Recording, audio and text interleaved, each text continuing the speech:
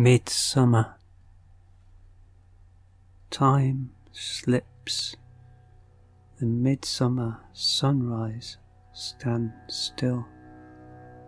Bonfires burn to warm the dying sun and kindle its guttering light, to ripen the green barley and bring the harvest home.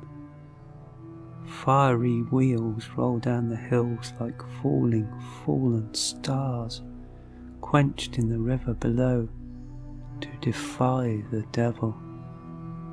Time slips, the past is near, the future present. It is midsummer, when the oak wears a crown of green and the villagers dance beneath the dappled shade of the summer's king. But even on the day of the oak king's triumph, the holly king is clad in burnished green. He can feel the chill in the summer heat, smell the rotting apples, hear the ice crack on the lake, Deep in the woods the sweet scent of honeysuckle pours like treacle from the hanging flowers. Even the elephant hawk moths are drunk with the sweetness of the nectar. Midnight. At the Rollright stones there is magic in the air.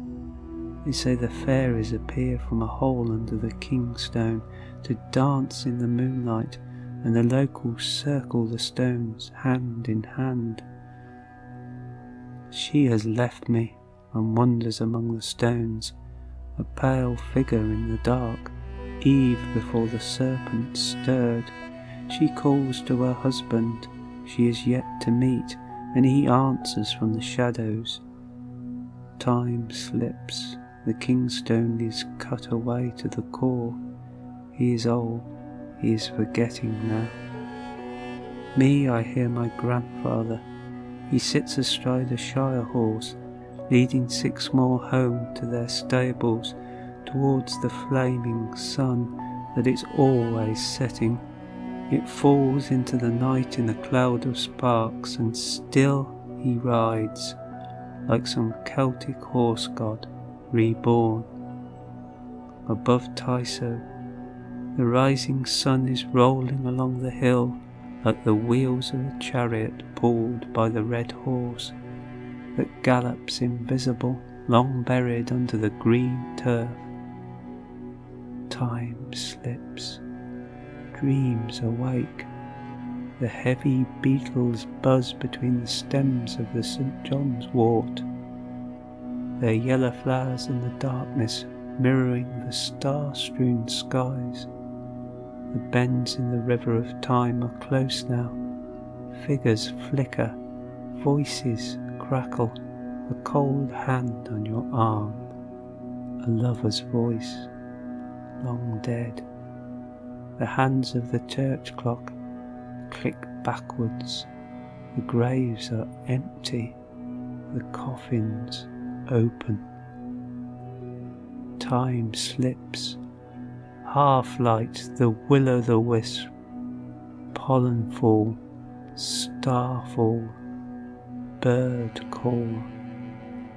Tonight the corncrake rasps, the nightingale sings, echoes from fifty years ago, as the thistledown floats in the breathless air and silver bells sound. This year a fallen pear tree casts a long shadow across the trenches in the digger tracks. Mattresses and car tires block the winding footpaths through the woods. The magic has gone. The evil spirits remain. They grow fat amongst the decay and the destruction.